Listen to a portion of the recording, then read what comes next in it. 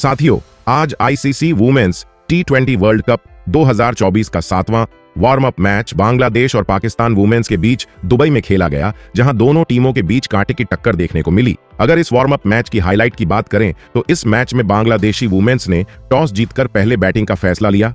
पहले बैटिंग करते हुए बांग्लादेशी वुमेन्स ने निर्धारित 20 ओवर में सात विकेट के नुकसान पर 140 रन बनाए। अगर बांग्लादेशी वुमेन्स के स्कोर कार्ड की बात करें तो साथ ही रानी ने 23 रन दिलारा ने 10 रन, शोबाना मिस्त्री ने 15 रन। अगर पाकिस्तान के बॉलिंग कार्ड की बात करें तो पाकिस्तान की ओर से सादिया इकबाल ने दो विकेट, डायना बेग ने भी एक विकेट, वहीं टूबा हसन ने एक विकेट और उमामा सोहेल ने भी एक विकेट लिया। लक्ष्य का पीछा करने उतरी पाकिस्तान की शुरुआत खराब रही।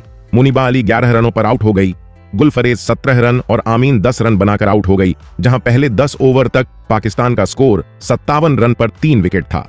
वही अगले दस ओवर में पाकिस्तान वुमेन्स को चौरासी रनों की ज़रूरत थी। जहाँ यह मैच काफ़ी रोमांचक बन चुका था। दोस्तों, आखिर में पाकिस्तान वुमेन्स सिर्फ़ 117 रनों पर ऑल आउट हो गई, और बांग्लादेशी वुमेन्स यह वार्म अप मैच 23 रनों से जीत गई।